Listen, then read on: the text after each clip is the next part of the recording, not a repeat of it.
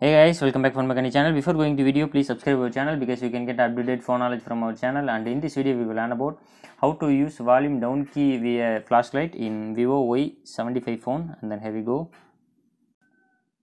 First of all, open the setting on this device. After that, scroll down. You can see here shortcut and accessibility option. And then click quick action button and enable quick action. And then leave, leave uh, turn on flashlight mode.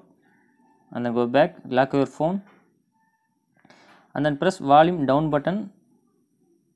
Now uh, long uh, and now successfully enabled uh, flashlight automatically. Use volume down key. If you don't want to go to the same way you can change it your mode also.